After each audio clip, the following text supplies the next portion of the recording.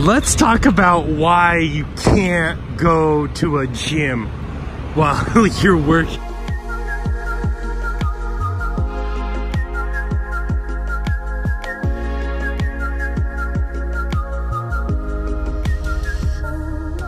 So, you've had a brilliant idea. You want to open a budget gym.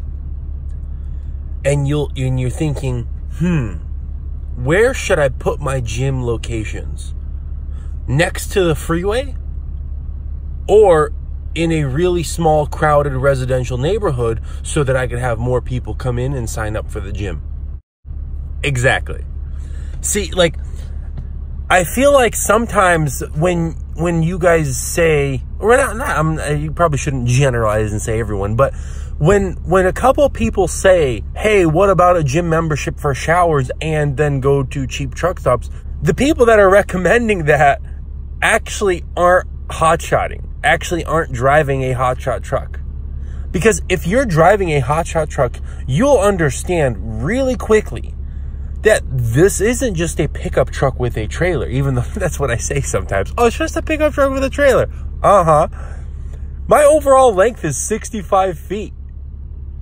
Like, you think I'm gonna risk hitting something? You think I'm gonna risk jumping curves because it's too tight, fitting, struggling to just to go to just to save 11 bucks or something from a shower? Not uh, like, is that really what we're going? Like, we're just Okay, fine, fine. Let's say, yeah, no, let's say you pick the big Planet Fitnesses.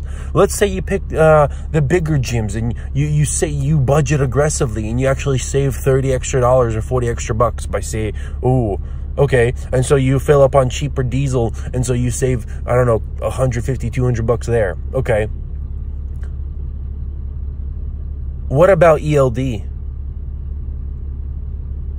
Because we now have ELD, and that means every time you move your truck, it logs it. And so, are you saying you're going to sleep in the parking lot at night in a Planet Fitness? Because once you park your truck, you can't move. You could technically say it's personal conveyance, but you're mm, technically not because you're going to shower uh, for, you know what I mean? It's for work. You're getting ready to start your day to go to work. But if you're at the truck stop, you don't have to move anything. You just walk out. Okay, what about Planet Fitness? Look, guys, I used to have a Planet Fitness membership. So I've I've ran through all of these things that you talk about. So what about Planet Fitness has no towels, no soap? What do you do then? Are you always going to carry a um, dirty towel with you? And so there's like there's all of these problems, right? That just like that stack up. And over time, you just kind of go like, why the heck am I like forcing myself to struggle? I'll just overpay a little bit. Big deal. The convenience trumps the savings. Right? That's how like that's how you look at it eventually. The convenience trumps the savings because it is honestly. And oh, here's the even worst case scenario. You go park at a Planet Fitness, and then, um, and then people park crowd you. You know what I mean? Because their their parking lots are dumb, dumb tight. It's just so like, oh my goodness. And people park in, and then you damage a car by pulling out care. You try to pull out carefully, but you end up damaging the car. And that claim is, you know, a couple thousand bucks. All of your savings is gone in one instance. Now, granted, you could say, oh, well, you could damage a semi truck in a part in a trucking parking lot. Yeah, I know, in a truck stop parking lot. I, uh, look, but there's much more space in a like truck stop parking lot than there is in a Planet Fitness. And so you if you damage something in the truck stop parking lot, well then, you know, reassess your driving skills. I'm just kidding. But like, you know what I mean? This guys, this is like, saving. That is not the right way to save money. Let's put it like that.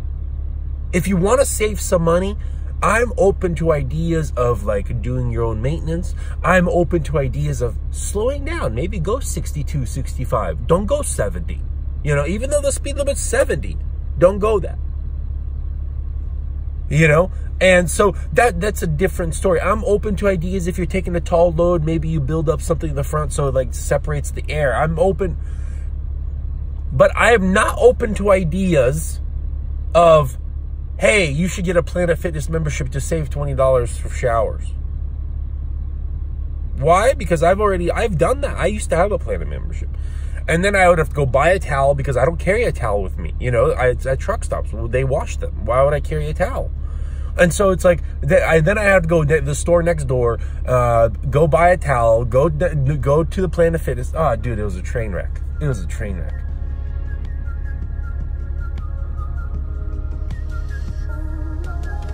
anyways, this was a good exercise. I like answering your questions. You know, you guys, you guys asked a bunch. So let me know what other questions you have and I'll answer them. All right, guys, I'll see you tomorrow. Peace.